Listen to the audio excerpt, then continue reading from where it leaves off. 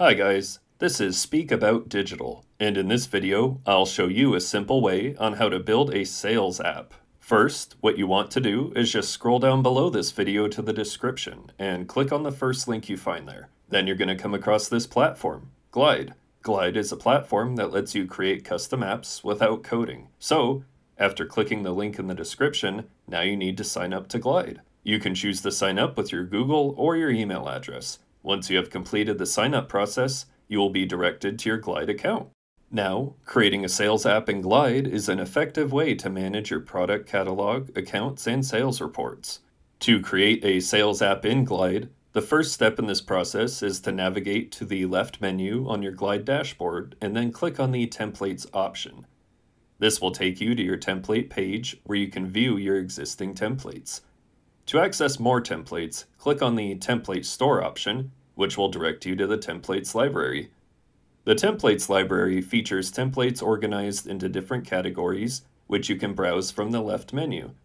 If you're looking for a specific template, you can use the search bar at the top of the page.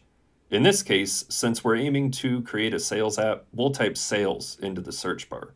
When the results appear, choose from any of the given templates. For this tutorial, we'll select the field sales template.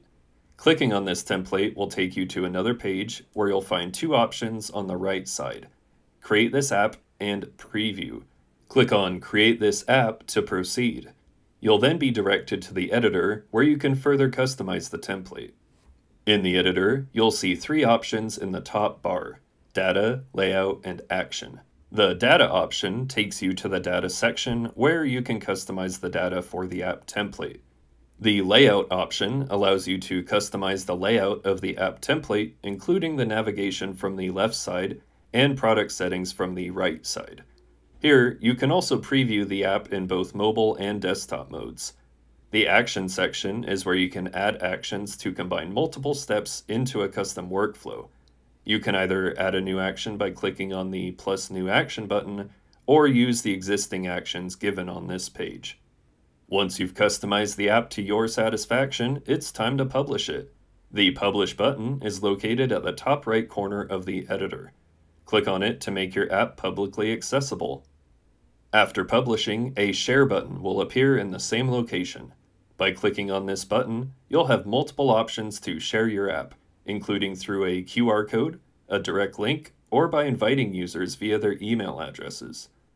And there you have it, a new sales app to track your product catalogs, accounts, and sales. To get started, simply sign up using the first link provided in the video description.